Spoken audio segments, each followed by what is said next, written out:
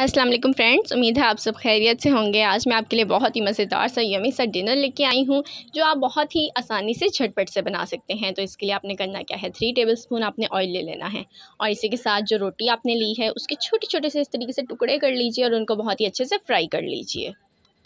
ये recipe yummy होने के साथ साथ फुल लॉन हेल्दी रेसिपी है। आप इस रेसिपी को ट्राई कीजिए, बहुत ही मज़ेदार बनती है। बच्चे बड़े सभी बहुत शौक से खाते हैं इसी के साथ, क्योंकि हमने टेस्ट और जो हमारी हेल्थ है दोनों को साथ लेके चलना है तो उसके हिसाब से ये रेसिपी एकदम परफेक्ट है।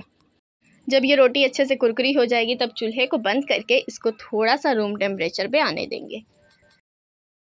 तो रोटियाँ अच्छे से कुरकुरी होने के बाद, अब इसमें मैंने एक बारीक कटा हुआ प्याज, एक बारीक कटा हुआ टमाटर एक बारीक कटी हुई हरी मिर्च शामिल कर दी है।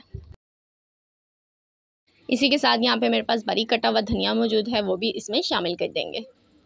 ये कंप्लीट रेसिपी है, आप इसको बहुत ही ज़्यादा इंजॉय करेंगे तो उम्मीद है आपको ये रेसिपी पसंद आएगी। अगर अच्छी लगे तो लाइक बटन को प्रेस कीजिएगा, ताकि मैं आपके लिए और भी ऐसी झटपट रेसिपीज़ लाती रहूँ। इसी के साथ मेरे पास एक प्याली उबली हुई चनों की दाल मौजूद है, वो भी इसमें शामिल कर देंगे। इन सभी चीज़ों को बहुत ही अच्छे से मिक्स कर लेंगे और इसी के साथ इसमें डालेंगे थोड़ी सी पिसी हुई लाल मिर्च थोड़ा सा नमक और थोड़ा सा चाट मसाला। यही तमाम चीज़ें इसमें शामिल करके इसको बहुत ही अच्छे से मिक्स कर लेंगे। इसी के साथ आधी प्याली मेरे पास इमली का पल्प पड़ा हुआ है, वो भी इसमें शामिल कर देंगे। तो बस यही चीज़ें थी, अब इसको बहुत ही अच्छे से मिक्स कर लेंगे और हमारा मज़ेदार सा ये खट्टा मीठा सा डिनर रेडी हो चुका है। उम्मीद है आपको ये रेसिपी अच्छी लगी होगी। लाइक बटन को प्रेस कीजिए चैनल को सब्सक्राइब कीजिए, ज़्यादा से ज़्यादा शेयर कीजिए, ताकि मैं आपके लिए और भी ऐसी रेसिपीज़ लाती रहूँ।